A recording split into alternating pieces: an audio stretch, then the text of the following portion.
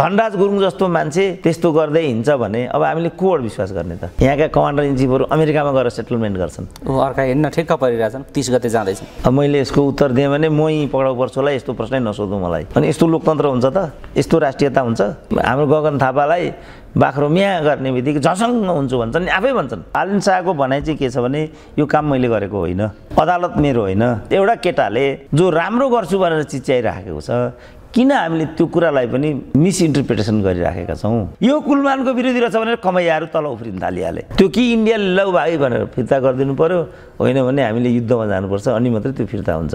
लन्डनको दूतावास बेच्ने। त्यो पो त्यता पो लाग्यो यिनीहरूले त। भावी पुस्ता भए कसैले राजधानी यस्तो छोड्थ्यो? अहिले यो गुरुङलाई चाहिँ यताउता गर्ने हो भने त ढलिहाल्छ नि यो त। अनि जानु त त्यहीँ पऱ्यो नि फेरि। अब रवि लामी छाने जान थालिसके भन्ने छ। सायद यो कुरा भन्न नै उनी त्यहाँ गएका थिए होला। हजुर यसमा धेरै नगरौँ है यो लहरो तान्दा पहरो गरिदिन्छ म पनि गृह मन्त्रालयसँग बसिसकेको हुँ। यस्तो यस्तो छ नि हजुरको म्याडमको यस्तो छ धनराजको यस्तो छ अर्काको उस्तो छ भन्न गएका रहेछन् भन्ने देखिन्छ यहाँबाट। होइन अब मलाई चाहिँ तलबाट यो रवि लामी छानेका भक्तहरूले किन सुरेन्द्र यो रवि लामी छानेको विरोध गरेको भन्दै गरेको पाएँ मैले अहिले पनि। हामी त विरोध समर्थनसँग सम्बन्धित छैनौँ नि।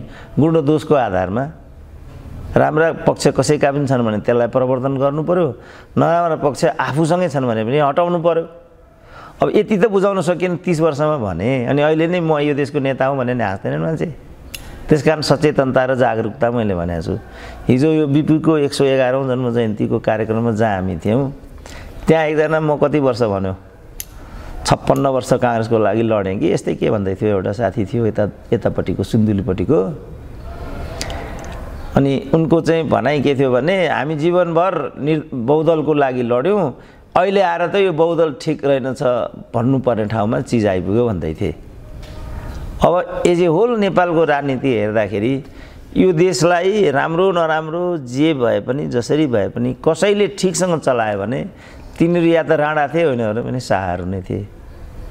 हामीले त खालि लोकतन्त्र ल्यायौँ मात्रै। त्यो हाम्रो एउटा प्रोग्रेसिभ भूमिका हो र उपयुक्त भूमिका हो।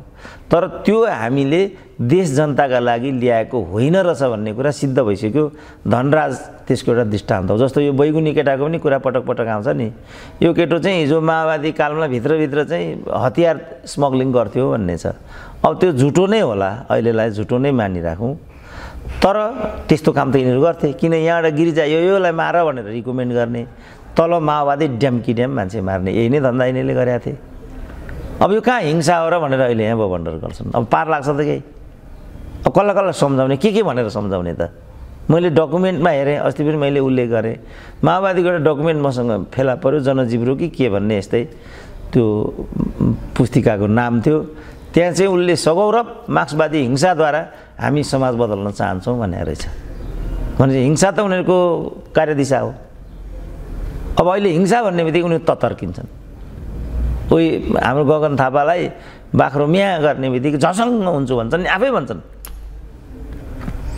अब निदाका बेला बाख्राको फोटो खिचेर बाख्रा सबै मरे भन्ने डकुमेन्ट बनाएको हो। त्यसको फर्ममा काम गर्दा त्यस त्यसको प्रत्यक्ष साक्षी म छु।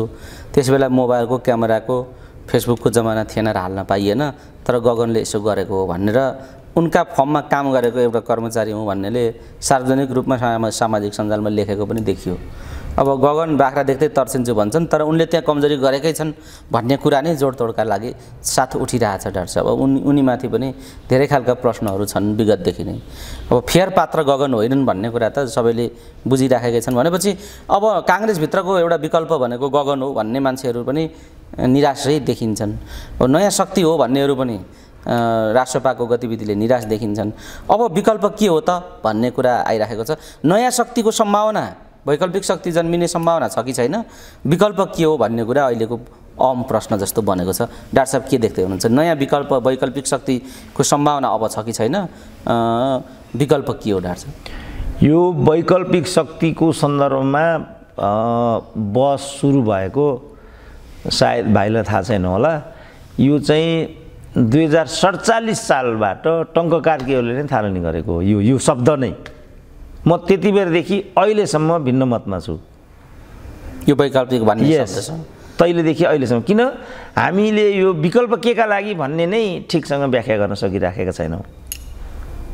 हामी कहाँ चाहिँ अहिलेसम्मको राजनीतिलाई चाहिँ यिनै मानिसहरूले चाहिँ पुँजीकृत गर्नाले पनि यस्तो कुरा भएको छ। केपी ओली भनौँ न एक इन्च पनि केपी ओलीमा सुधार देखियो त यत्तिका आलोचनाहरू छन्। एक ठाउँमा पनि उनले चाहिँ कम्प्रोमाइजिङ टेन्डेन्सी देखाएका छैनन्। अब इन्डियाले त यति नेगेटिभली उनलाई हेरेको भन्ने बुझिन्छ। न्युयोर्कमा गएका बेला साइड टक भए पनि गर्ने भन्ने यिनको हिसाब थियो। अरे केपीको अनुहारै नहेर्ने भन्ने भयो अरे नरेन्द्र मोदीको। त्यति पूर्वाग्रह रहेछ। यहाँ अब राष्ट्रसङ्घको सभामा सम्बोधन गर्न जाँदा पनि यही हुनेछ भन्ने पूर्व अनुमान छ मान्छेहरूको। तिन मिनट यसो कर्सीका लागि हाइहालो परबाट गऱ्यो भने अचम्मको कुरा हो। नत्र भने ओली र मोदीको भेटै हुँदैन भन्ने मान्छेहरू पनि छन् अहिले। त्यस्तो छलफल छ यहाँ। अब यस्तो अब भनेपछि यता के भयो भने उनले चाहिँ रको उक्साटमा हाउस विघटन गरेको भन्ने कुरा छ। मलाई लाग्छ धेरै यसमा सत्यता हुनुपर्ने।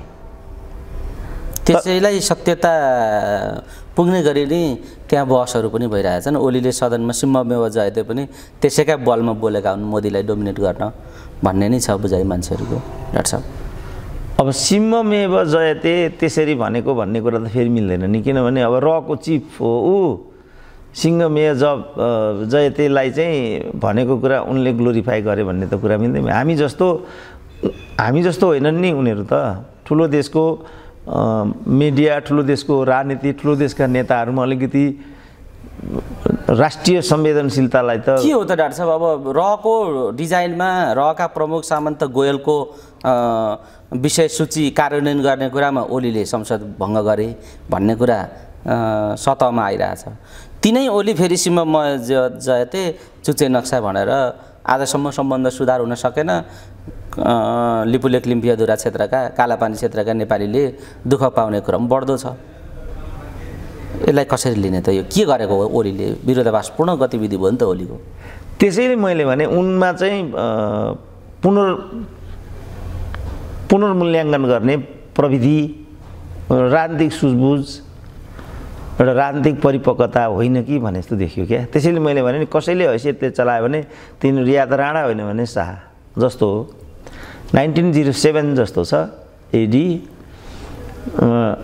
एउटा दिल्ली दरबार जस्तो छ त्यस त्यसको नाम। एउटा कन्फरेन्स थियो इन्टरनेसनल कन्फरेन्स थियो ब्रिटिस इन्डियामा। त्यहाँ चाहिँ यहाँबाट पिएमको रूपमा चन्द्र शमशेर गए। गएपछि चाहिँ सेकेन्ड रोमा इन्डियन रजौटाहरूको हाराहारीमा चन्द्र शमशेरलाई राखिएछ। चन्द्र शमशेरले म त्यहाँ बस्दिनँ भने। म चाहिँ स्पेन त्यो रा राज्यको नामै राष्ट्रको नामै लिएको छ त्यहाँ। हामी चाहिँ स्पेन सरहको स्वतन्त्र राष्ट्र हौँ। इन्डियन स्टेट सरहको हामी होइनौँ। उहाँ राजा छन्। इन्डियन स्टेटलाई त अहिले पनि राजा कत्रो इज्जत छ त्यहाँ। इन्डियन रजौटाहरूको सानो इज्जत छ अहिले पनि नेपालमा। यिनीहरूले अहिले पनि तिनीहरू रजौटै ठान्छन्। यहाँका कमान्डरहरू यहाँका राणाहरू यहाँका शाहहरू अहिले पनि तिनीहरूलाई नै छोरी लिने दिने गर्छन्। अनि यहाँ राष्ट्रवादको हुङ्कार गर्छन्। अचम्म होइन। यहाँका कमान्डर इन चिफहरू अमेरिकामा गएर सेटलमेन्ट गर्छन्। अर्का हिँड्न ठिक्क परिरहेछन् तिस गते जाँदैछन्। अब मैले यसको उत्तर दिएँ भने म यहीँ पक्राउ पर्छु होला यस्तो प्रश्नै नसोधौँ मलाई। अनि यस्तो लोकतन्त्र हुन्छ त? यस्तो राष्ट्रियता हुन्छ?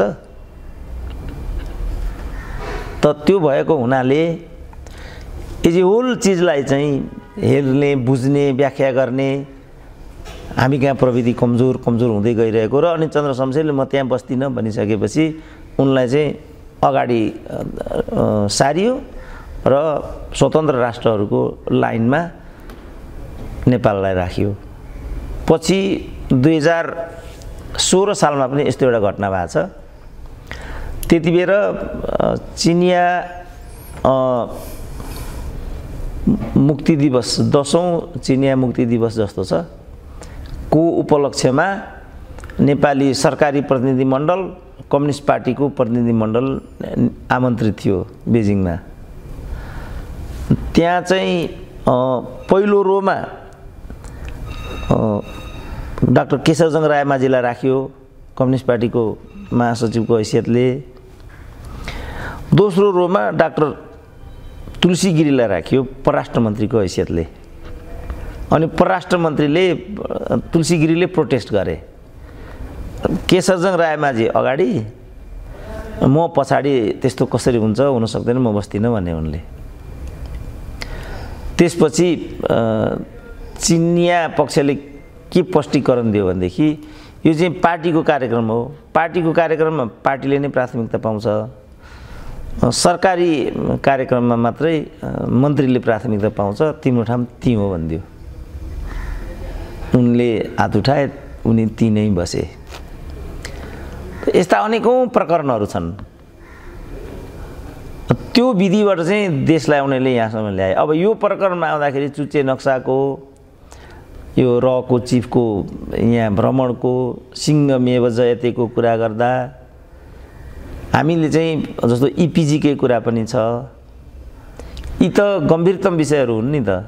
यसमा हामी गम्भीर नै हुनु जरुरी र यसमा बौद्धिक कौशल प्रयोग गर्नु चाहिँ अपेक्षित हुन्थ्यो। हामी कहाँ त त्यो अभ्यासै भएन। अब आठ क्लास पढेको लठुवाला लगेर उनीहरूले अर्थमन्त्री बनाउँछन् परराष्ट्र मन्त्री बनाउँछन् मेन पावरको दलाललाई लगेर उनीहरूले चाहिँ राजदूत बनाउँछन्। अनि कसरी हामी राष्ट्रको प्रतिनिधित्व गर्न सक्छौँ त? भन्यो भने आफू नपाएको रोदन भन्छन् त्यो कोही सुन्नै तयार छैन। अनि कसरी हामीले चाहिँ चाहेको चिज अपेक्षा गरेको चिज हासिल गर्न सक्छौँ त? मिडियामा पनि हिजो राम्रो थियो। अब आज मैले देखिरहेको थिएँ पत्रकार महासङ्घको अध्यक्षले राजीनामा दिए अरे आज। छक्क परेँ म। पदका लागि मरियते गर्ने यहाँ। सबै कुरा लगेर सर्वस्व लगेर बुझाउने। तर पद त नछोड्ने यहाँको अभ्यास त यो हो। यो केटाले किन यस्तो गर्यो होला भनेर मैले यसो सोसियल मिडिया हेरेको समयमा चुनाव गराउन नसकेको हुनाले भन्ने उनले स्पष्टीकरण दिएको रहेछ। नैतिकतै मरिसक्यो नैतिकवान मान्छेहरू सकि नै सके भन्ने कुरा त होइन भन्ने म गर्थेँ नि। जस्तो यो आयल निगमको त्यो उमेश थानी भन्ने केटो उसले चाहिँ उन्चास अरबको ऋण थियो आयल निगमलाई।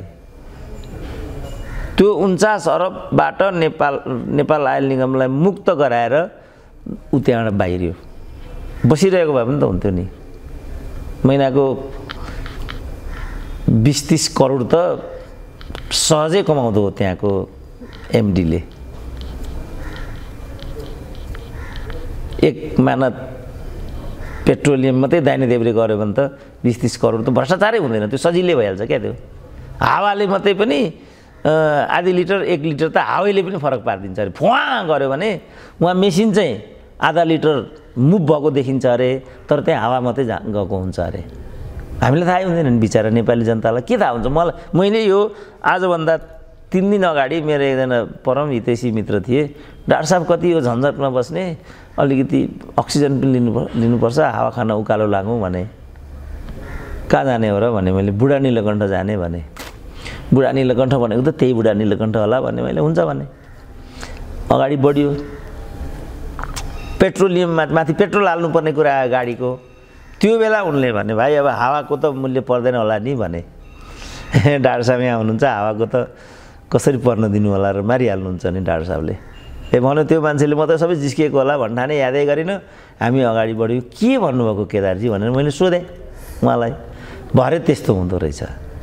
त्यस्तो हावा मात्रै नेपालभरिका पेट्रोलियममा तिन चार ठाउँमा कुदाइदिने हो भनेदेखि त पाँच दस करोड रुपियाँ त त्यसै तर उनले त्यो पनि छोडेर ल तिमीहरू नै यो खा भनेर त्यो आयल निगमलाई ऋणमुक्त गराएर त्यहाँबाट उनी पन्छिए अब यही काम हामीले नेवानीमा पनि त गरेको भए हुन्थ्यो यही मेथड अन्त पनि ऊ डिडिसीमा ऊ साठी करोड चाहिँ ऋण विनियोजन गर्यो नेपाल सरकारले भन्ने छ।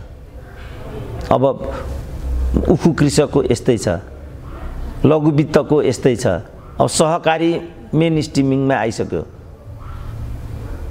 त अब यी सब विषयहरू मैले हिजैदेखि भनेको कुरा के भने जब राज्य कमजोर हुन्छ उसले दुईवटा काम चाहिँ गर्न सक्दैन भन्थेँ नि म। कारण यो थियो। उसले व्यक्तिको जीव धनको जीवको पनि रक्षा गर्दै सक्दैन धनको पनि रक्षा गर्न सक्दैन। अब धनराज गुरुङ जस्तो मान्छे त्यस्तो गर्दै हिँड्छ भने अब हामीले कोबाट विश्वास गर्ने त? हामीले यहाँसम्म लिपापोती गरिदियो। मलाई भर्जिनियादेखि फोन आउँथ्यो धनराज गुरुङलाई बचाइदिनु पऱ्यो डाक्टर साहब अब यहाँ आउँदा त गर्न सक्ने देखिनँ त मैले त। गगन थापाको कुरा पनि त्यही छ बैगुनी केटाको कुरा पनि त्यही छ रामकुमारीहरूको कुरा पनि त्यही छ। अब उनीहरू र आभारा र गुन्डागर्दी गर्ने भन्दा अरूलाई मन्त्री नै बनाउँदैनन्। जिम्मेवारीमै तोक्दैनन्। न विज्ञता मान्छन् न ज्येष्ठता मान्छन् न बौद्धिकता मान्छन् के पनि मान्दैन त्यस कारणले यो नेपाल र नेपालीको हित नचाहनेहरूको प्रयास चाहिँ के छ भने यसका कुनै पनि आधारभूत तन्तुहरू या त सिध्याइ नै दिने होइन भने अनेक किसिमको प्रोपोगेन्डा र विवाद खडा गरेर हामीलाई चाहिँ क्रमशः कमजोरको कमजोर बनाउँदै लैजाने यी अन्तर्गत यी सब कुराहरू भएका छन्। अब होइन भने शान्तिको भूमि गौतम बुद्धको देशमा भिछु किन कुटिनु पऱ्यो त? ऊ किन लुटिनु पऱ्यो त? यो त मार्छन् पनि। कुट्ने लुटिने मात्रै होइन हत्या नै भयो। हो त दस वर्ष अगाडि त एउटा जापानको जापानी भिक्षुको भिक्षुलाई ज्यानै लिदिए यिनीहरूले। अब किन जस्तो म आफू लुम्बिनी हेर्न गएको छु नि त कपिल वस्तु सबै मैले हेर्दाखेरि त्यहाँ सुरक्षाको प्रबन्ध नै छैन। त्यहाँ केही सेक्युरिटी सिस्टमै छैन त्यहाँ। अब त्यहाँका पुरातात्विक वस्तुहरू सम्पदाहरू असरलै छन् त्यहाँ। त्यस्तो चिज त म गत वर्ष चाहिँ काँगडा पुगेको थिएँ। टेन टु फाइभ मात्रै काँगडा किल्लाभित्र पस्न पाइन्छ। त्यसलाई चाहिँ सुरक्षित गरेर राखेको छ। टिकट काटेर भित्र पस्नुपर्छ। जति त्यहीँबाट स्रोत आइहाल्यो। अब हाम्रो पनि त्यही गर्नुपर्ने ठाउँ होइन त्यो। त्यो गर्ने बित्तिकै नियन्त्रित हुन्छ। भिक्षुहरू कहाँ बस्ने? विदेशी पाहुनाहरू कहाँ बस्ने? आफ्ना मुलुकले चाहिँ त्यहाँ बनाएका छन्। त्यो एपार्टमेन्ट बनाएको छ नि त उनीहरूले हरेक देशको आफ्नो बनाएको छ त्यहाँ।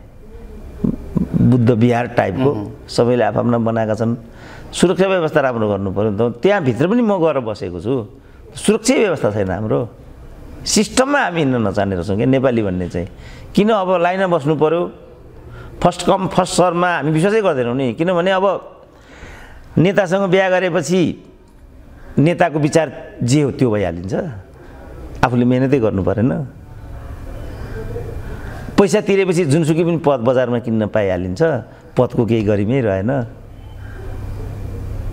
अब धनराजहरू एउटा आदर्शको बिम्ब लिएर हिँडेका हुन्छन् आचरण यस्तो हुन्छ। त यस्तो किन त भन्दा हाम्रो जुन टाकुरमा बसेको जुन नेता हो त्यही अभिभावक हो त्यसले हो नि हामीलाई न्याय गर्नुपर्ने त। ऊ कसैमाथि न्याय नै गर्दैन। अब कार्यकर्ताहरूमा दासत्व छ स्वार्थन्तताले गर्दा उनीहरू चाहिँ विवेक घुमाइसकेको स्थिति छ। अनि म सचेतनता र जागरुकता भन्छु नि कारण त्यो थियो। किन यो हामीले विवेक गुमाइराखेका छौँ? किन योग्यता र विज्ञतालाई मानिँदैन? योग्यता र विज्ञता बिना पनि केही कुरा हुन्छ। हिजो पनि मैले त्यो बिपी जयन्ती एक सौ एघारौँ जयन्तीमा मैले त्यो कुरा उठाइरहेको थिएँ। बरु राजाले चाहिँ योग्यता र विज्ञतालाई पिकअप गरेको पाइयो कहाँ संसारमा राम्रा मान्छे त राजाले देख्नै हुँदैन थियो। लैनसिंह बागदेल पनि यहाँका थिएनन् अरुणा लामा पनि यहाँकी थिएनन् अमर गुरुङ पनि यहाँका थिएनन् कोही पनि यहाँका थिएनन् नि। घटेन्द्र बहादुर सिंह पनि मलाई लाग्छ बम्बेबाट ल्याएको थियो उनले। यो भेगबहादुर थापा भन्नेलाई पनि अमेरिकाबाट टिपेर लिएर आएको। यहाँ ल्याउने यहाँ ल्याएर काम गराउने। तर उनीहरूको एउटा कृतज्ञता भनौँ कि उनीहरूको क्षमताको दुरुपयोग भनौँ अब त्यसलाई के नाम दिने हो म भन्न सक्दिनँ। त्यो चाहिँ देश र जनताको पक्षमा पटक्कै भइदिएन। समस्या यहाँ भयो। फलस्वरूप तीबाट सबैभन्दा ठुला राजा विरोधीहरू भेगबहादुर भने पनि कमल थापा भने पनि सूर्यबहादुर थापा भने पनि सारा गणतन्त्रवादीहरू तीभित्रबाट देखा परे। तिनीहरू गणतन्त्रवादी हुन् त। उनीहरू त अवसरवादी मात्रै हुन् नि त। अन्त त राजतन्त्रै गइहाल्यो। यो बाटोबाट त त्यही नै हुन्छ फेरि यहाँ पनि। मैले भन्न खोजेको पोइन्ट चाहिँ। यिनीहरू कम्युनिस्ट हुन् त। यिनीहरू डेमोक्रेट हुन् त यिनीहरू। यही हुन्छ त डेमोक्रेसी भनेको। मैले डिबेट गर्न खोजेको चाहिँ बिन्दु यहाँ हो। तर अब मै असान्दर्भिक हुने जस्तो भयो किनभने यो विचारको पक्षमा कम मान्छे देखिए। होइन भने त यो विचारले प्राथमिकता पाउँथ्यो नि त। यो विचारले प्राथमिकतै पाएन। अब यतिका अध्ययन अनुसन्धानहरू गरियो। अब यो अध्ययन अनुसन्धान जुन फोरमको लागि उपयुक्त थियो त्यो फोरममा त पूर्णत इग्नोर भयो नि त। किनभने अब पुष्पलालले कम्युनिस्ट पार्टी खोले पुष्पलाललाई गद्दार भनेर त्यहाँबाट निकालियो नि त त्यस्तो देश हो नि त यो। जुन आमाले आफूलाई जन्माइन् तिनै आमा बोक्सी त्यस्तो पनि हुन्छ। बोक्सी भए पनि आफूलाई जन्माइन् भने त सक्यो त। जन्मिया जन्माइहाल्यो नि त यो धरतीमा ल्याइन्। सानो कुरा गरिन् त आमाले। अनि तिनै आमालाई बिहान पनि बोक्सी बेलुका पनि बोक्सी भन्नुको के अर्थ हुन्छ? यहाँका मान्छेले त्यही गरे। पृथ्वीनारायण शाहले अब अहिले गाली गर्नुको के अर्थ हुन्छ? कमसेकम यो देश त जोडिदिए। यो देश नजोडिदिएको भए त हाम्रो अस्तित्वै हुन्थेन। यहाँ विभेद भयो अरू कुराहरू भयो भने हामी निराकरण गरौँ न त्यसलाई उन्मूलन गरौँ। तर यो एउटा भूगोल त चाहिन्छ होला नि त। हाम्रो यसैमाथि प्रहार छ। यो भन्ने बित्तिकै प्रतिगामी भन्ने ट्याग लागिहाल्छ तल। भुल्नै हुँदैन। त्यस कारण मैले भने यो सबैलाई समीक्षा हामीले गर्नु पऱ्यो अब यो पछिल्ला जे प्रकरणहरू छन् इपिजीको कुरा भने पनि चुचे नक्साको कुरा भने पनि टनकपुरको कुरा भने पनि कुरा त्यही हो। जस्तो अब चुचे नक्साको मैले कतिचोटि भनिसकेँ नि चुचे नक्सालाई एक्सक्लुड गरेर यिनीहरूले चाहिँ निशाना छाप बनाएको रहेछ बहत्तर सालको संविधानमा। त्यसैलाई संशोधन गर्ने भनेको यिनीहरूले। भनेपछि के हेरेर त्यो चुचे नक्सा बनायो त हिजो? छ सौ एकलाई कारवाही गर्नु पर्दैन। सिधै देशद्रोह हो नि त्यो त। अब अहिले त्यसलाई संशोधन गरेर चुचे नक्सा हासिल गर्छु भन्दा न हासिल हुन्छ त्यो अब। त्यो कि इन्डियाले लौ भाइ भनेर फिर्ता गरिदिनु पऱ्यो होइन भने हामीले युद्धमा जानुपर्छ अनि मात्रै त्यो फिर्ता हुन्छ। न भारतले त्यो गर्ला न हामी यो गर्न सकौँला मैले देख्दाखेरि। सक्यो नि कुरा। अब यिनीहरू केमा लडिरहेछन्? त्यो चुचे नक्सा केपी ओलीको कारणले हो कि हाम्रो कारणले भनेर लडिरहेछन् त्यहाँभित्र। माओवादीलाई सोध्यो हामीले भन्छन् यो त ओलीले त पुरै विरोध गरेको थियो भन्छन्। अब ओलीलाई भने यो ल्याएकै मैले हो भन्छन्। कुनै नेपालीले मलाई लाग्छ यसमा सही कुरा सही जवाब दिन सक्दैन। को त वास्तवमा यो चुचे नक्साको जनक चाहिँ को होला भन्नु त ल। कसले यो चुचे नक्सा प्रपोज गरे हो अब यसैमा लड्छौँ सरकारमा प्रधानमन्त्री ओली भएको हुनाले त यो ओली नेतृत्वको सरकारको काम हो पनि भन्नु पऱ्यो होला। अब त्यो बाहिर अब हामीले भन्ने त त्यही होला। अब भित्री कुरा चाहिँ के हो भने चुचे नक्सा ल्याएको किताबै गायब गर्ने कुरामा त फेरि ओली ओलीहरू नै जिम्मेवार छन् फेरि। कोर्सको पुस्तक नै छापिसकेको पुस्तक नै यिनीहरूले अरबौँ पुस्तकमा घोटाला भयो। बाहिर पुस्तक नआइकन डम्पिङ गरे पुस्तकलाई भनेपछि अब दोहोरो चरित्रमा छन् नेताहरू भन्ने कुरा नै सन्देश जान्छ डाक्टर साहब अब इपिजीको यस्तै कुरासँग सम्बन्धित हुन्छ नि त। इपिजी किन इन्डियाले नबुझेको भने त्यहाँभित्रको एउटाले भित्रभित्र इपिजीको रिपोर्ट पहिल्यै बेचिसकेको हुनाले यो कुरा त्यता पुग्यो। किन त्यसो बिचौलियाहरू मात्रै थियो त्यहाँ। यो चुचे नक्सामा पनि त्यस्तै खालका मान्छे राखेको थियो उनीहरूले। यो इपिजीमा पनि त्यस्तै खालका मान्छे राखे। अनि त्यहाँ एक्लै अर्काको त्यो खुफियागिरी गर्ने धन्दा मात्रै उनीहरूले त्यहाँ गरे। अब मैले अघि भने ठुलो देशमा अलिकति राष्ट्रियतामा कम्प्रोमाइज गर्दैनन्। सानो देशमा मुलुक अन्त सेल हुन्छ। देशलाई नै लुछेर अनि चुडेर आफ्नो चाहिँ बन्दोबस्त उनीहरूको छोरीलाई एउटा स्कलरसिप दियो भनेदेखि उनीहरू गोपनीयता नै बेचिदिन्छन्। मैले एउटा पत्रिकाको सम्पादकीय पढिरहेको थिएँ अस्ति जो मिस्त्री भन्ने चाहिँ भारतका परराष्ट्र सचिव यहाँ आएका थिए परराष्ट्र सचिवलाई परराष्ट्र तहले भेट्नु विचार आदान प्रदान गर्नु स्वागत गर्न जानु एउटा कुरा हुन्छ। तर यहाँ त मन्त्री प्रधानमन्त्री नै लाइन लागिदियो। त्यो त प्रोटोकलको विपरीत भयो नि त। भनेपछि हाम्रो मुलुक चाहिँ क्रमश खस्किँदै गयो। त्यस कारण अघि मैले भने बरु हैसियतले एउटा बस सिटमा बस्ने कुरामा समेत उनीहरू चाहिँ अड्डी लिन्थे चन्द्र शमशेरहरू प्रकारान्तरमा उनीहरूको त्यही अड्डीले गर्दा हामीले हाम्रो देशको स्वतन्त्रता हासिल गऱ्यौँ नि त। नत्र त सुगौली सन्धिले त अलमोस्ट घुमिसकेको थियो हाम्रो। त्यसपछि जङ्ग चन्द्र शमशेरको पालामा जङ्ग जङ्गबहादुरको पालामा नयाँ मुलुक अलिकति प्राप्त भयो। त्यो नयाँ मुलुक प्राप्त नहुन्थ्यो भनेदेखि त हामी के गरी खान्थ्यौँ होला र अहिले नै? चाडा जिल्ला नयाँ मुलुक अन्तर्गत पऱ्यो अहिलेको पिँढीलाई कतिलाई त त्यो थाहा पनि छैन होला बिचरा। त्यसपछि अलिकति आकारलाई सुनिश्चित गर्न सफल भए जङ्गबहादुर।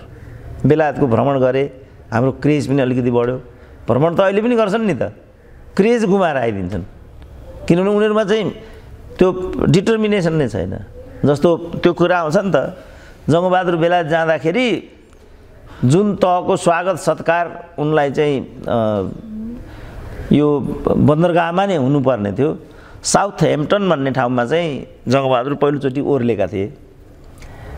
त्यो कस्तो ठाउँ रहेछ भनेर मलाई पनि इन्ट्रेस्ट लागेको हुनाले लन्डन भ्रमण गएका बेला म पनि त्यो ठाउँमा पुगेको थिएँ।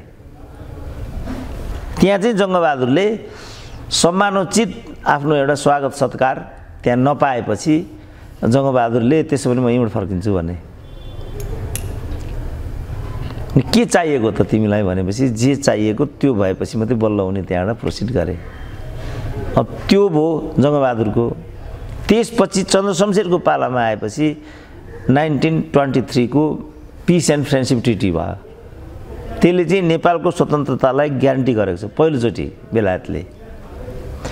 यसैलाई इन्हेन्स गरेर नाइन्टिन थर्टी फोरमा जुद्ध शमशेरको पालामा हाम्रो चाहिँ प्रत्यक्ष दूतावास लन्डनमा खुल्यो। त्यसको फल आज हामी भोग्दैछौँ। पूर्वजले त यसरी हासिल गरेको स्वतन्त्रता हो नि त हाम्रो। निर्माण गर्दा लडेर निर्माण गरियो अङ्ग्रेजसँग जुद्धियो चाइनिजसँग जुद्धियो। त्यसपछि दूतावासको दौत्य सम्बन्ध दूतावासका कुराहरू भए। अब यिनीहरूले त बौद्धल आउने बित्तिकै यिनीहरूको त पहिलो यिनीहरूको योजना के थियो भने लन्डनको दूतावास बेच्ने त्यो पो त्यता पो लाग्यो यिनीहरूले त। अनि मैले फेरि गोर्खा भूतपूर्वहरूलाई उठाएर गेसो आन्दोलनमा त्यति बेला म कन्सल्टेन्ट थिएँ। तिनीहरूलाई उठाएर तिमीहरू बेच्छौ भने हामी किन्छौँ भन्न लाएर त्यो थामिएको छ अहिले पनि। न त किङ्सिङटन प्यालेस भन्छ क्यारे त्यो ठाउँमा छ यो। बेलायतको सबभन्दा कमर्सियल ठाउँ त्यो। आँखा गाडी त्यो चाहिँ यो धमिजा भन्नेले किन्न खोजेको थियो क्यारे यो ठाउँ। यस्तो गर्छन् यिनीहरू। भनेपछि यिनीहरूमा संवेदनशीलता पनि छैन। यिनीहरूमा जवाबदेहिता पनि छैन। त्यसकारण मैले चाहिँ सचेतनता र जागरुकता भनेर भन्ने कारण त्यो हामीले अझ पढ्नु पऱ्यो इतिहास बुझ्नु पऱ्यो डिप्लोमेसी बुझ्नु पऱ्यो इकोनोमी बुझ्नु पऱ्यो अब उनीहरू त्यो मान्दै मान्दैन अब आठ क्लासबाट लट्ठ लगेर अर्थमन्त्री बनाइदिन्छन् दलाललाई लगेर राजदूत बनाइदिन्छन्। अब अहिले आर्जुकै कुरा गरौँ के विज्ञता हो आर्जुको लगाउनु त? डाक्टर साहब यस्तै कुराले जनताहरू निराश भएका छन् र राजनीतिमाथि आक्रोश व्यक्त गर्ने कुरा चाहिँ बढिरहेको छ नेताहरूमाथि आक्रोश पनि बढिरहेको छ सांसदहरूमाथि आक्रोश पनि बढिरहेको देखिन्छ युवाहरूको। चाहे टुनी खेलको ओली देउवामाथिको हुटिङ होस् चाहे धोली खेलको एघारजना सांसदहरूमाथि युवाहरूले प्रतिरोध गरे। यस्तो निराशाले यस्तो खालको स्थिति जन्माइराखेको छ। यो के को सङ्केत हो र हिजोको त्यो धोली घटनालाई कसरी लिनुहुन्छ? अब धुली खेलको अन्तर्य के भयो? त्यो म ठाउँमा आइपुगेन। अब म पटक पटक पाँच खालमा मेरो त्यहाँ साथीहरू भएको हुनाले पटक पटक म जान्थेँ। धुली खेलबाट उता लागेपछि ओह्रालो तिन चार किलोमिटर ओह्रालो बाटो चाहिँ बिस पच्चिस वर्षदेखि असरल्ल छ त्यो। म चाहिँ पर तातो पानी भन्सारसम्म पनि पुगेको। त्यस्तै स्थिति छ त्यहाँ पनि। त्यो मर्मतै सम्भारै हुँदैन त्यो क्षेत्रको बाटो। धेरै हदसम्म त्यो कम्युनिस्ट गनाउने हुनाले चाइनासँग जोड्ने भएको हुनाले कम्युनिस्ट विरोधीहरूले कम्युनिस्टको चाइनाको बदनाम गर्नको लागि चाइनातिर चाहिँ फर्केर पनि नहेर भन्नको लागि यो गरेको हुनुपर्छ। नत्र केही पनि कारण छैन नि त। बजेट कति छ कति छ हामीसँग बजेटको केही अभावै छैन। धुलखिल नगरपालिकाले पनि त्यति त गर्न सक्छ होला प्रदेशले पनि गर्न सक्छ कुनै कुरै होइन नि। तर उनीहरूले चाहिँ त्यो बाटो यति यति मैले कति चार पाँचवटा अन्तर्वार्तामा त यो कुरा मैले भनेकै हुन्छु। अब त्यस बापत युवाहरूले त्यो उत्तेजना व्यक्त गरेका हुन् कि यी पनि हाम्रो यो सोभिता गौतम जाँदा कहाँ चाहिँ मुख छोडे भन्ने कुरा सुन्थ्यौँ नि हामी। किन अपेक्षा छ अपेक्षा अनुसारको केही पनि हुँदैन।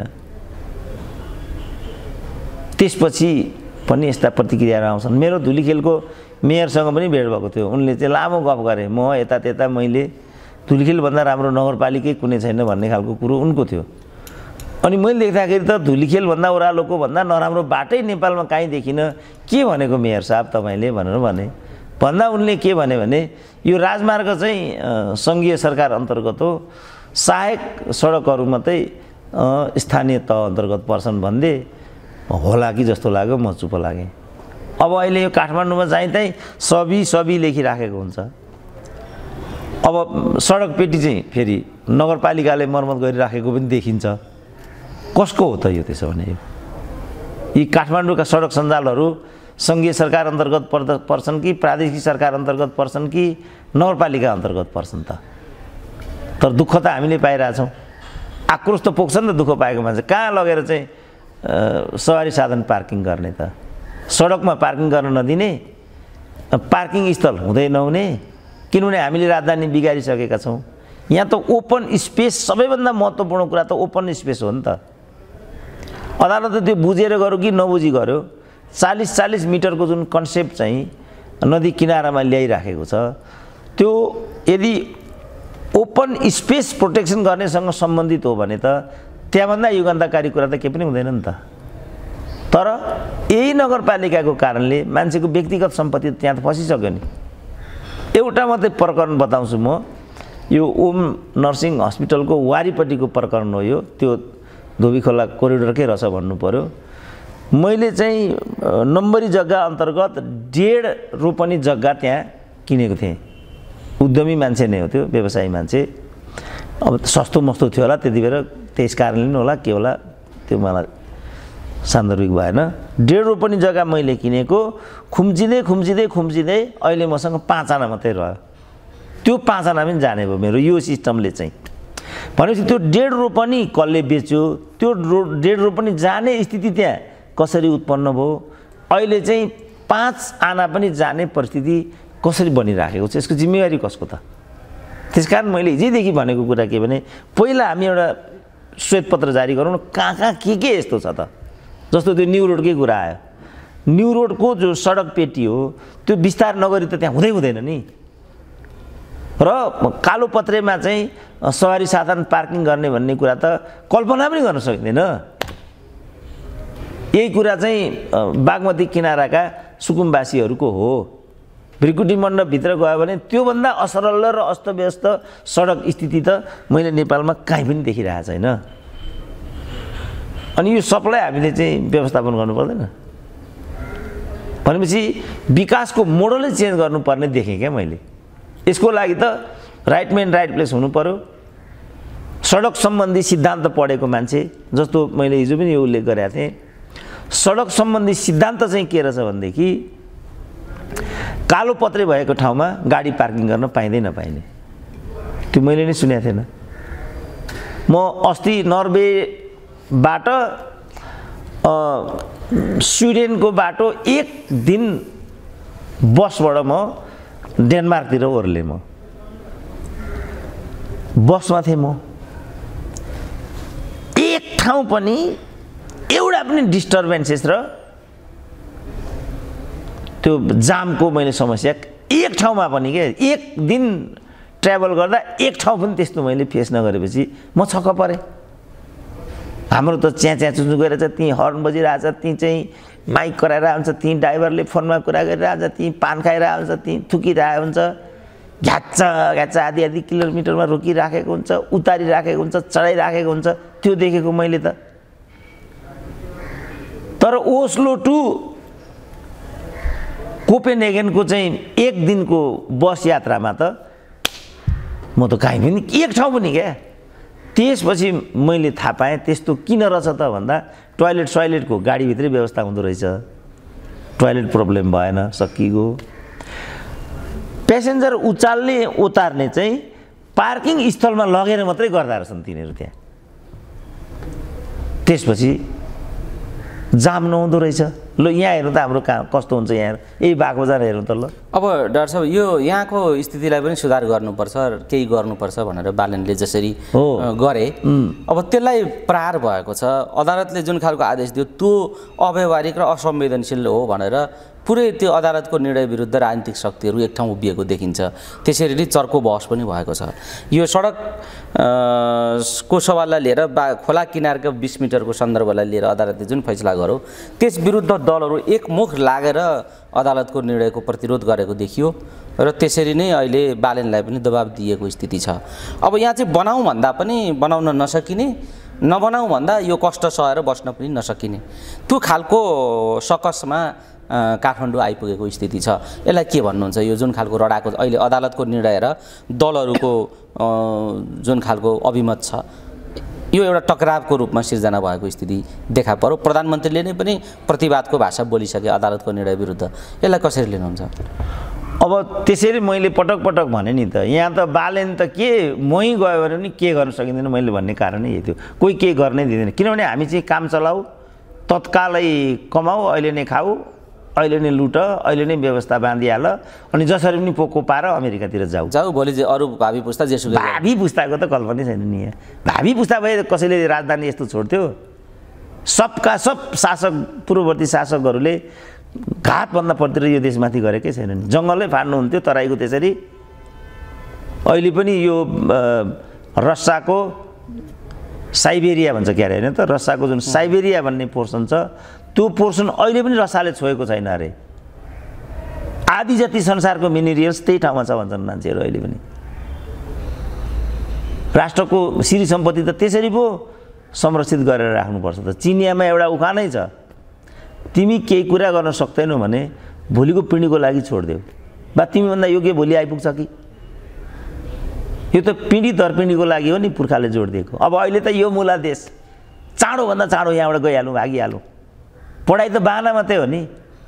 क ख चिन्ने कम्प्युटर चलाउने अङ्ग्रेजी बोल्ने अमेरिका गइहाल्ने त्यस्तो राष्ट्रघाती चिन्तन अहिले यहाँभित्र हाबी छ। किनभने हामीले देखाएकै यही छ। आदर्शै हाम्रो यो भन्यो। सबभन्दा गौरवको कुरा म अस्ट्रेलियामा छु कि मेरा छोराछोरी अमेरिकामा छन् कि छैनन् सबैभन्दा गौरवको कुरा अहिले त्यो हुन्छ। अनि त्यसले हामीलाई कहाँ पुर्याउँछ त? अघि भनिहाल्यो सबै सबै मलाई लाग्छ ठुलो साधन स्रोत यहाँबाट बाहिरिसकेको छ होइन हाम्रो। बाहिरी हो त्यो समस्या छ र राष्ट्रियताको चिन्तन नेपालीमा कम छ। एक त नागरिकमा पनि राष्ट्रियताको भावना कम भयो।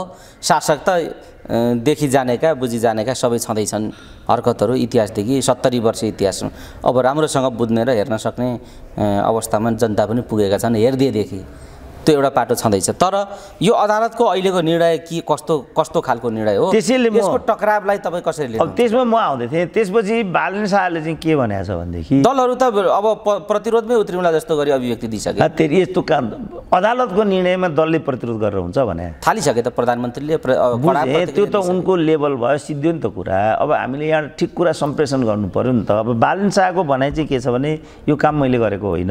अदालत मेरो होइन। त्यहाँ तिम्रै मान्छे न्यायाधीश छन्। हिजो जे निर्णय गर्यो त्यो मैले गरेको होइन।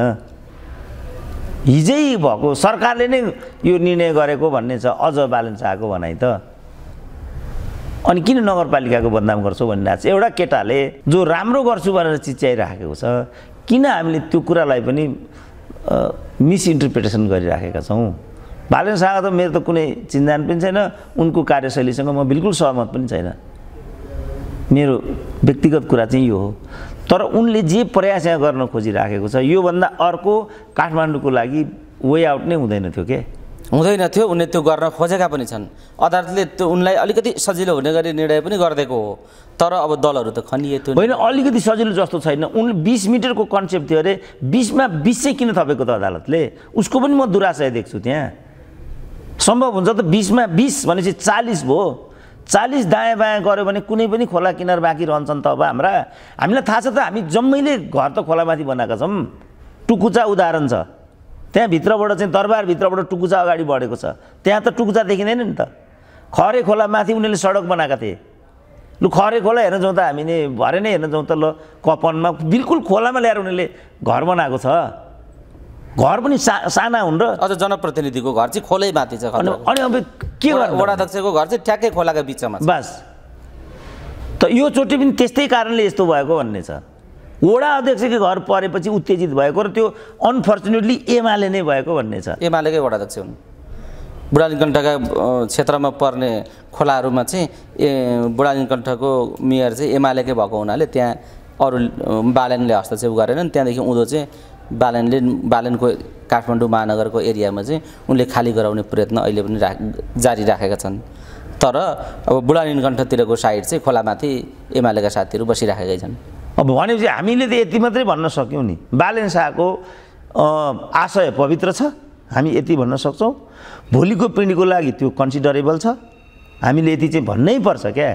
किनभने हि इज डुइङ गुड जब अब जस्तो कुलमान कुलमानसँग हाम्रो के नातेदारी छ र? उनले त्यहाँभित्र बन्दोबस्त गरेको होला एउटा पार्टीबाट गाइडेड छन् सबै कुरा हामीले भन्न बाँकी राखेको छैन।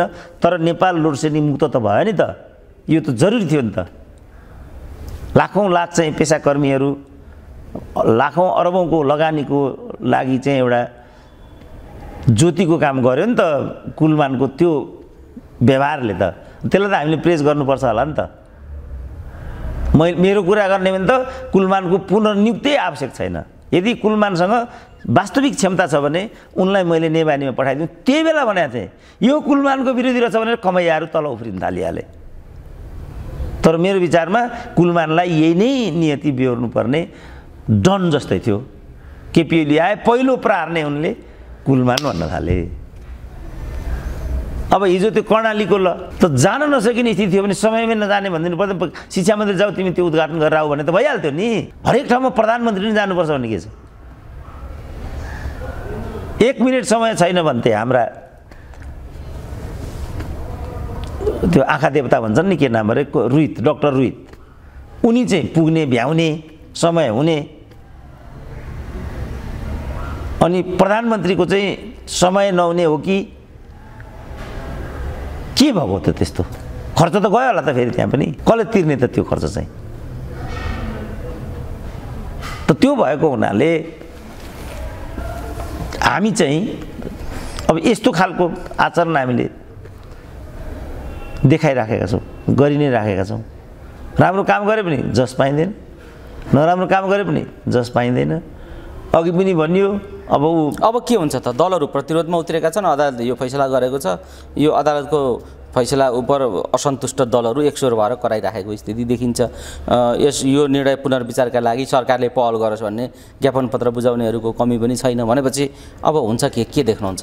अब अदालतमा पार्टीका नेताहरू न्यायाधीश पल्टेर बसेको हुनाले पुनरा अवलोकन हुन पनि सक्छ। किन त्यहाँ त न्यायाधीश छैनन्? पार्टिसन आधारमा बजारमा किनेर मान्छेहरू न्यायाधीश हुँदो रहेछन्। हिजो पनि मसँग एउटा फेला परेको थियो। मलाई पनि पुनरावेदनको दिएको थियो। एक करोडमा आएको हुनाले मैले दिन सकिनँ म गइनँ भन्दै थियो। को विषयमा आएको फैसलालाई लिएर मान्छेहरूले ठुलो चलखेल भयो। खेलोमेलो राम्रै बजेटको खेलोमेलो भएर त्यस्तो निर्णय आयो भन्ने भनिरहेका छन्। अब त्यहाँका मुखियाहरू सबै सफाइ पाए पर्ने चाहिँ एक दुईवटा तल्लो लेभलका को को परे भन्ने छ अहिले। अब तल्लो त परिहाल्छन् नि। अब जस्तो बालवाटार छ बालवाटार तल्लोले गरेको हो र? त्यो त मल्लोले गरेको हो। मेलम्चीमा सबै राजनीतिक दल र पार्टीहरू जोडिएका छन्। अब त्यो तल त्यो कर्मचारीहरू जोडिएका छन्। त्यो तर अब तल्लो लेभलको एउटा दुई चारजना को को डामिए अरू दस एघारजनालाई सफ सफाइ पाए भन्ने कुरा आइरहेछ। मल्लो जतिले सफाइ पायो होला तल्लो जति डुब्यो होला होइन भयो होला। अरू के हुन्छ र? त्यही भएर त्यो सफाइ पाउनुका पछाडि ठुलो खेलोमेलो छ भन्छन् मान्छेहरू। कति सत्य हो त्यो दैव जानुन् तर राम्रै रकमको खेलोमेलो भयो भन्ने अहिले आइरहेछ बजारमा चर्चा।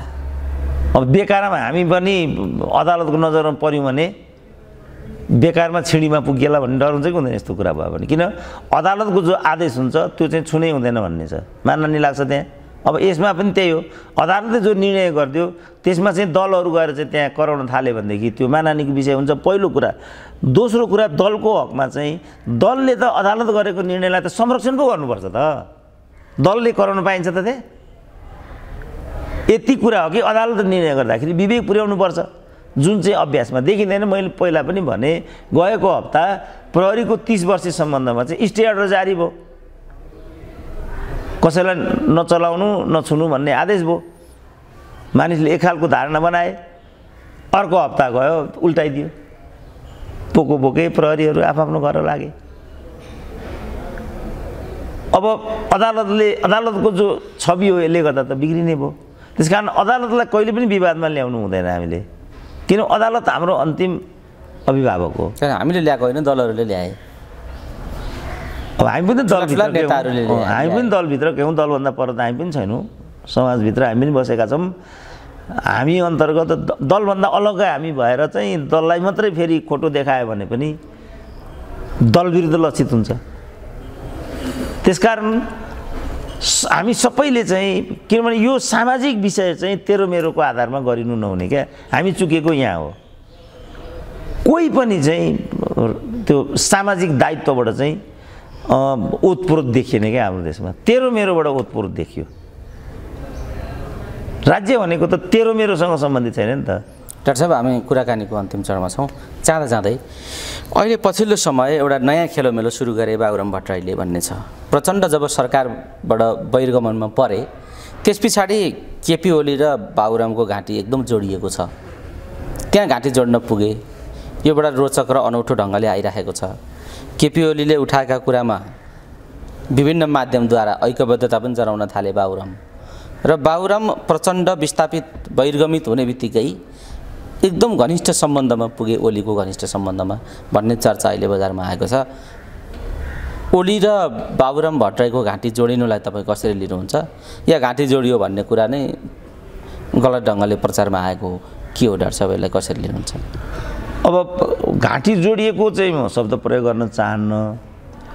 बाबुरामसँग त्यसको विकल्प चाहिँ देख्दिनँ म। जहाँ उनी कथित घाँटी जोडाइको प्रक्रियामा छन्। किनभने प्रचण्डले नाङ्गो बुङ्गो बनाइदिए बाबुरामलाई। यो यो बिचमा सहकार्य गर्ने के के गर्ने भन्ने कुरा पनि उनीहरू गर्थे। त्यो सहकार्यलाई पनि एउटा निश्चित दिशा दिने निष्कर्षमा पुर्याउने यो काममा अवरोध नै हालेको देखियो र प्रचण्डले बाबुरामका कार्यकर्ताहरू चोर्ने मात्रै घृष्टता गरेको देखियो। त्यसपछि त बाबुरामलाई पनि त एउटा ओत चाहियो होला नि त। ओलीभन्दा अर्को त केही पनि बाँकी रहेन त अब देशमा बाबुरामका लागि। अब त्यो ओलीको छाताले पानी छेक्छ छेक्ला त बाबुरामलाई। जसलाई जो माओवादीका थुप्रै नेताहरूलाई ओलीको छाताले काम गरेन। बाबुरामलाई गर्ला? त्यो त गर्ला जस्तो मलाई लाग्दैन। उनको लाचारी हो त्यो। अब उनी के का लागि त्यहाँ पुगेका हुन्? हिजो चाहिँ वामदेव बनेका भ्रष्टाचारी हुन् भनेर टुन खेलबाट घोषणा गर्थे प्रदीप नेपाल। पछि वामदेव गृहमन्त्री हुँदा तिनै वामदेवका सल्लाहकार भएर प्रदीप नेपाल त्यहाँ घुस्रिन पुगे। किन भन्दा उनीमाथि पनि सहकारीको ऋण थियो भन्ने चर्चा सुन्थ्यौँ हामी बा बाबुरामलाई पनि सहकारीको ऋणले च्याप्यो कि? यहाँ त हरेकले हरेकलाई ठग्ने यो अभ्यास छ अहिले हाम्रो देशमा। कति बेर कसलाई कसले लडाउने हो केही पनि ठेगान छैन। बा नाङ्गो बुङ्गो भएर पो बचाउको लागि ओत लाग्न बाबुराम त्यहाँ पुगेका हुन् कि? थाहा छैन नि त जम्मै कुरा। थाहा छैन। बा सहकारीको घोटालामा संलग्न छन् कि उनी पनि? अब अहिले धनराजले त सबैलाई झस्काए। म त क्लियर थिएँ यो गर्ने नै काङ्ग्रेस एमाले हो। सुन इत्यादि। रक्तचन्दनमा माओवादी हुँदो रहेछ। सहकारी वित्तीय अपराध इत्यादिमा चाहिँ एमाले हुँदो रहेछ। म चाहिँ क्लियर थिएँ। अब अहिले सबै पोल चाहिँ र मैले के भनेको थिएँ भने यो सहकारीमा रवि लामिछाने कारबाहीमा आउने होइन कि बचतकर्ताहरू मात्रै कोपमा पर्नेछन् भन्थेँ। अब मैले हिजै पनि भनेको हो नि त मैले रथारोहण अघि भनेको थिएँ नि सुरुमा। रवि लामिछाने संसदीय समिति रवि लामिछाने संसदीय समिति भन्थे। त्यसो गर्दै जाने भने फेरि भोलि अर्कोले आउँछ यही भन्छ के गर्छौ भाइ हो भन्थे ठ्याक्कै त्यही कुरा भयो। आफूलाई अमर पाउँदाखेरि मलाई बडा आनन्द आएको छ क्या आज चाहिँ। यी सबै एकै ढ्याङ्का मुला हुन् ठग हुन् यिनीहरू राजनीति लाउनेले उद्योग बनाएको। त्यही मध्येको के हो बाबुरामको? खोल्न बाँकी छ भन्ने कुरा हो डाक्टर अब बाबुरामको त अहिले भन्न सकिँदैन। अब उनी चाहिँ अस्तित्वमा देख्छु म। अस्तित्व त बचाइराख्नु पऱ्यो अब घनश्यामले भनिरहेको छ चालिस करोडभन्दा माथिका घोटालाहरूमा राष्ट्रिय सहमति राष्ट्रिय सहमति हुन्छ भनेर त्यो सहमतिको अनुसार हिसाब माग्नु पो त्यहाँ गएका हुन् कि थाहा छैन नि त केही पनि। त्यसकारण नेपालका राजनीतिक दलहरू यस्तै हुन् किनभने हामीहरू त यस्तै हो नि ब्रो। डाक्टर साहब अब विकल्प के हो त? के भन्न चाहनुहुन्छ? होइन विकल्प त सक्षम र योग्य नेतृत्व कि जनताले हस्तक्षेप गर्नु पऱ्यो होइन भने भारी बोकिरहनु पऱ्यो समाजवाद होइन भने मृत्यु। मैले भनेको छु नि समाजवाद भनेको सही नेतृत्व मृत्यु भनेको अझ भारी बोक्ने कुरा। छनौट जनताको अब भारी बोक्दिनँ प्रतिरोध गर्छु। यो भारीबाट यिनीहरूको भारीबाट मुक्त गर्छु जनतालाई भनेर दुर्गा परसाई विभिन्न खालका गतिविधिहरू गरिरहेका छन्। प्रचण्ड पनि कुम्लो कुटुरो बोकेर पूर्वैतिर दुर्गा परसाईकै छेउछाउ पुगेको देखिन्छ। राजा ज्ञानेन्द्र पनि डेरा भर्खर उतै सर्नुभयो भन्ने सुन्छु म। दुर्गा परसाई पनि दम झापातिरै केन्द्रित छन् भनेपछि दुर्गा परसाई प्रचण्ड राजा ज्ञानेन्द्र अहिले झापामा केन्द्रित छन्। त्यहाँ के खिचडी पाक्दैछ यो संयोग मात्रै हो कि त्यहाँ केही पाक्दैछ कि के हो डाक्टर साहब यसलाई कसरी लिनुहुन्छ? यी तिनै भाइ त्यहाँ केन्द्रित हुनुलाई कसरी लिनुहुन्छ? दोस्रो कुरा दुर्गा परसाई अब यो भारी चाहिँ बिसाउनु पर्छ यसको नेतृत्व मैले गर्छु भनेर जसरी हप्की दप्की गरिरहेछन् कहिले मोटरसाइकल जुलुस कहिले के बडो दलबलका साथ उनी आफ्नो प्रस्तुति दिइराखेकै छन्। यसलाई कसरी लिनुहुन्छ? अब यो लोकतान्त्रिक व्यवस्थामा राजनीतिक अवसरहरू त कसैले पनि उपयोग गर्ने कुरा मैले अन्यथा होइन। जो प्रचलित नियम कानुन अन्तर्गत रहेर कसैले जुलुस गर्छ कसैले नारा गर्छ कोही एक ठाउँबाट अर्को ठाउँबाट जान्छ भनेदेखि त्यो मैले देख्दा अन्यथा हुँदैन। अब उनीहरू संयोगवश एउटै क्षेत्रमा उपस्थित छन् भनेदेखि त्यसलाई पनि त्यत्रो विषय बनाउनु हुँदैन र उनीहरूका बिचमा चाहिँ सहकार्य भयो भने पनि त्यसलाई हामीले ठुलो किन उनीहरू सबै प्रतिपक्षमा छन्?